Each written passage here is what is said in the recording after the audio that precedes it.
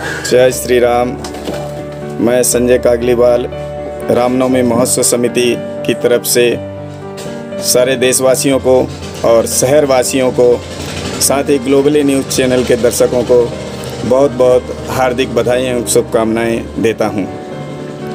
आप सभी से निवेदन है कि 30 मार्च को होने वाली रामनवमी शोभा यात्रा में आप सभी ज़रूर से ज़रूर शामिल हों और पुनः एक बार ग्लोबल न्यूज़ चैनल का बहुत बहुत धन्यवाद एवं आभार।